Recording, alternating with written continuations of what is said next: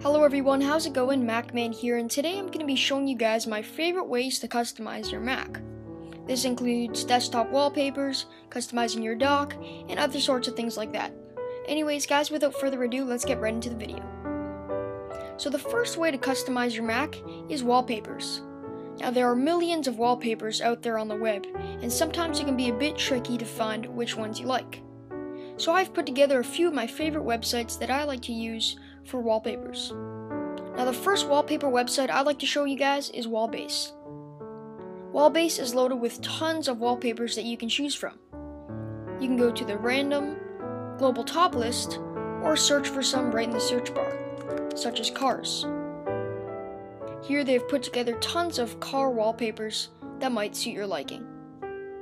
The next website I'm going to be showing you guys is iconpaper.org. Not only do they have wallpapers, but they also have cool things like Bowtie skins, docks, icons, icon sets, and OS X themes. If you'd like to look for some wallpapers, we can easily select the wallpapers section.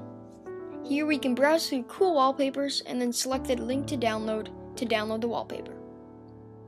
Now the last wallpaper website I'm going to be showing you guys is igraphic.ca.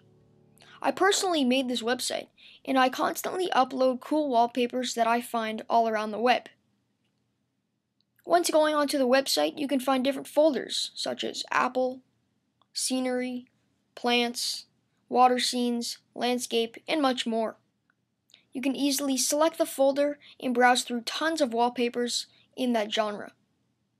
Now currently my website is under construction, but you can still download wallpapers from just selecting the photos.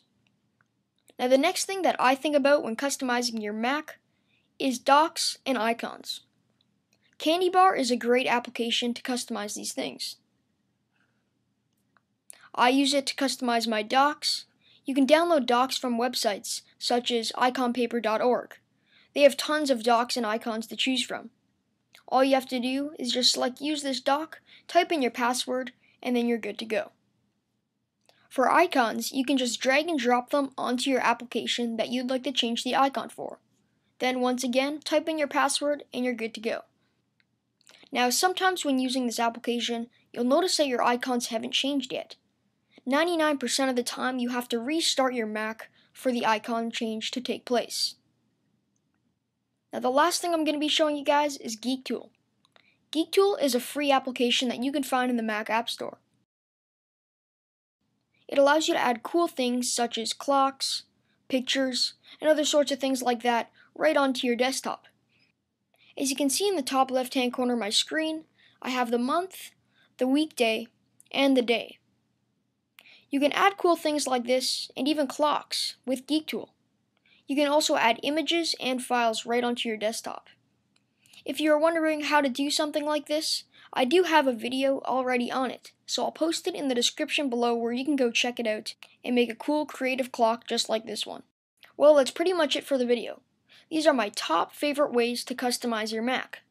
If you enjoyed the video, please don't forget to like. Also, don't forget to follow me on Twitter, and I'll see you guys in the next video.